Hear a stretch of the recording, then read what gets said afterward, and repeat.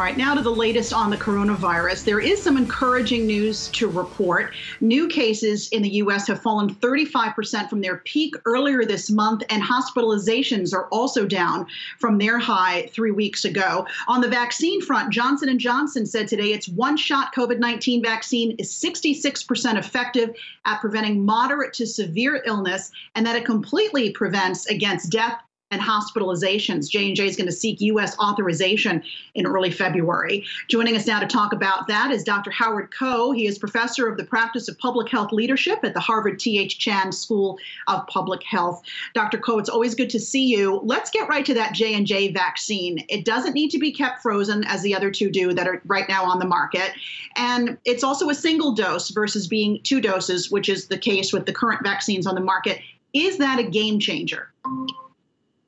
Yes, you're right, Alexis. There's so much interest in J&J for exactly the reasons you just described. We have two vaccines by Pfizer and Moderna authorized by FDA, but we have such a supply shortage right now, as we all know, and so we desperately need more vaccines uh, for the country and indeed for the world. These results are very good. They are not overall as impressive as the Pfizer and Moderna rates of some 95% effectiveness, but they're still uh, very good for a novel vaccine. Uh, this is a vaccine, by the way, that's not mRNA based like Pfizer and Moderna, but it uses the so called viral vector approach. And then, as you mentioned, Alexa, it's only one dose and does not require ultra cold freezer um, storage efforts. So that can help with logistics and distributing to remote sites and even to remote countries around the world if necessary. There is a cautionary tale, though, in that the effectiveness in South Africa was somewhat lower than seen in the US, for example. We're all concerned about the variants being described around the world in the UK and South Africa and Brazil and elsewhere. And then, very importantly, we have to stress that these are preliminary results. They haven't been analyzed yet by the FDA or their expert advisory groups. So we'll have to follow this very, very carefully. I understand that these results are being presented to the FDA very soon, perhaps as soon as next week. So we're going to watch with great interest. And doctor, another player in all this is Novavax, which is trying to get its vaccine to market. They came out and said today there's only 49% effectiveness against that strain that you mentioned that's in South Africa, which we know has now shown up here in the U.S. It's starting to get a little complicated for folks. Um, how do you know which vaccine is right for you if you're lucky enough to be able to get one right now. You're right, Alexis. So Novavax is yet another vaccine that is being studied with these results from the UK being put forward yesterday. And the same trend uh, we are witnessing that is very good outcomes uh, in the UK, but much less so in South Africa, where this so-called B1351 variant exists. Again, the Novavax results are very preliminary, and so we have to wait until the official results are put forward, published in peer-reviewed journals, and, and looked at by the FDA and other regulatory agencies around the world. So right now, we should wait to see what FDA does, and then also once authorization occurs, any vaccine that is authorized and available to you, you should take because we need to accelerate vaccination right now. This pandemic continues to be uh, such a catastrophe for our country and the world and we need to get vaccination accelerated, and meanwhile continue to, to promote prevention at the highest level.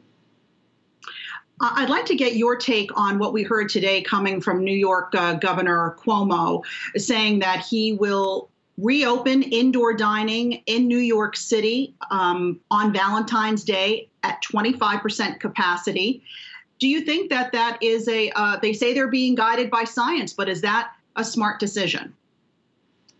Well, every governor is making uh, his or her decision based on the science. If I can say, Governor Cuomo has followed the data and science very carefully, so I respect his decision.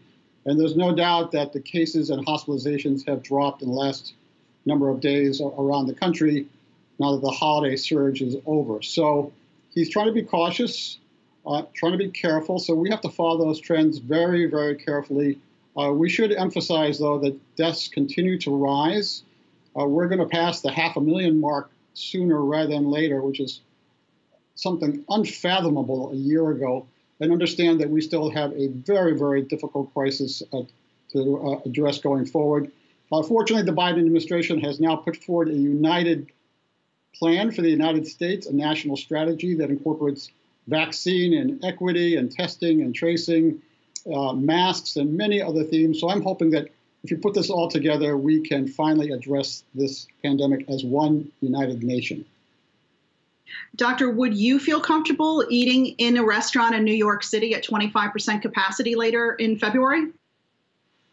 Alexis, I'm a very cautious guy. I haven't eaten inside a restaurant since last March, and I don't think I'll be doing that until it's all safe to, to go forward. So uh, everybody's got to make their own decision, uh, but I appreciate these guidelines being put forward with great care by the governor in New York and elsewhere. You know, before we let you go, can you just clarify a couple of things for me? Uh, you know, people keep asking me, you know, if I get the vaccine, does it mean that um, I can't get the virus? Or is it more like the flu vaccine, where if you get it, it, it you just won't get it as badly as you might have if you didn't have the vaccine? And and can you still be a carrier and pass the virus on to others if you've been vaccinated? Those are really important questions, Alexis. So, what the virus does, uh, what the vaccine does, if successful, is it prevents symptomatic infection.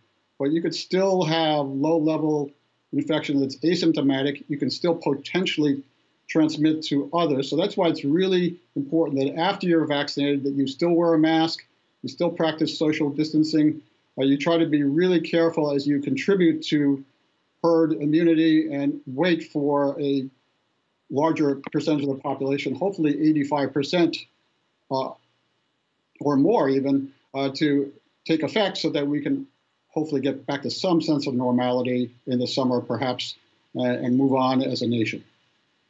All right, Dr. Howard Koh of the Harvard T.H. Chan School of Public Health. Always great to get your insights. Thank you. Thanks, Alexis.